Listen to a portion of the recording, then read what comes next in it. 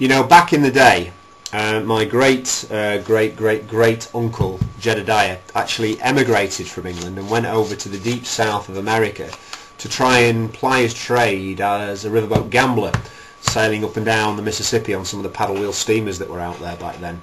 I've got to tell you though, his, his name actually wasn't Jedediah, his name was Bert, but uh, he decided to change his name by deed poll because he th- thought he needed a slightly sexier name to go and be a gambler in uh, Mississippi.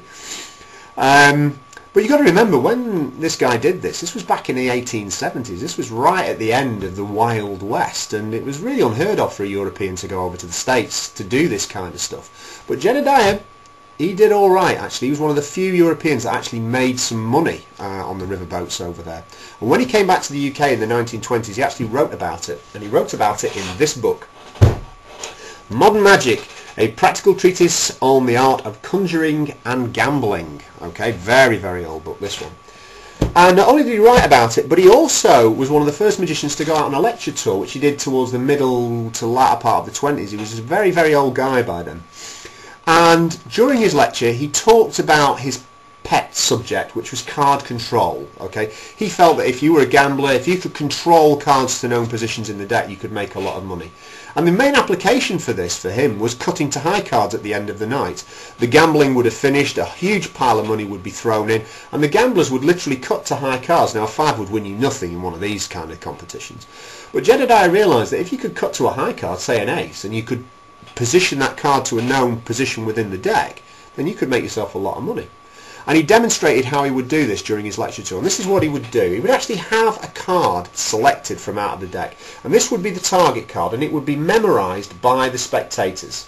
Okay, so please take a look at that card and remember it. That's the card we're going to control. He would then ask for the card to be replaced into the deck, but he would say specifically, don't place it towards the bottom of the deck because I can sight count where you're putting it. He would then say, don't place it towards the top of the deck either because I could sight count where you're putting that card.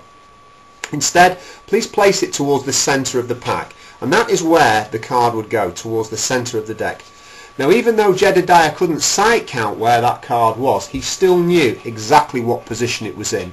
And the reason that he knew that was because he had the feel for cards. He'd been around cards so long that he only had to pick up a block of cards and he would automatically know how many that he had. And in this instance, Jedediah could tell that there was exactly 20 cards underneath the selection, so the card was 21 cards from the bottom. Now this was Jedediah's great skill because what he could then do was take the deck and actually cut it into four roughly equal heaps. And Jedediah would know exactly how many cards were in each heap and he actually writes about this in his book. You can see here in one of the chapters here, you can see where he talks about the four piles and, uh, and how he knew how many cards were in each heap. He would then put the deck back together in a slightly different order. But again, because he knew how many cards were in each heap, he then knew that he'd moved the selected card up from 21 from the bottom to 23 from the top. But that wasn't good enough for Jedediah. He would then say to a second spectator, give me any number between 15 and 20, and this was a free choice.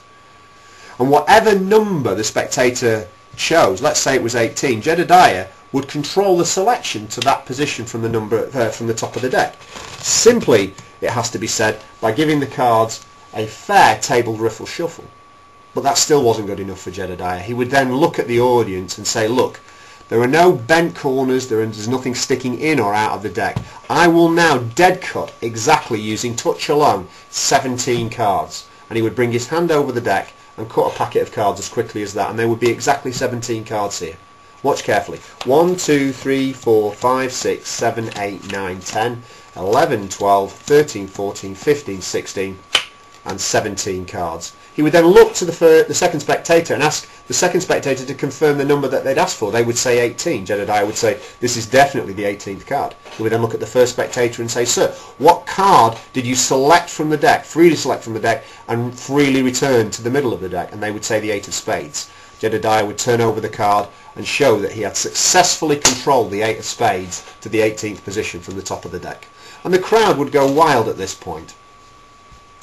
But Jedediah was not only a very, very skillful gambler, he was also quite a good magician, obviously, because he'd been around cards uh, for so long. And in fact, whilst he was actually out on the Mississippi cruising up and down on the paddle wheel steamers, he actually came up with some original moves. And one of the moves he came up with actually looks like this.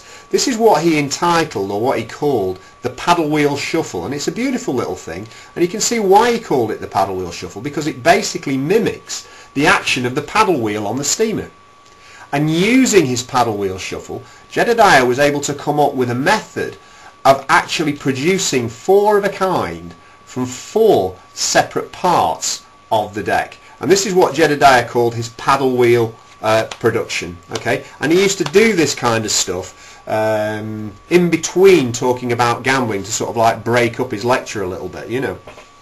But now um, we'll talk about uh, another great passion of Jedediah's, and that was blackjack. Blackjack was a new game that was coming through during the 1870s. Up until that point.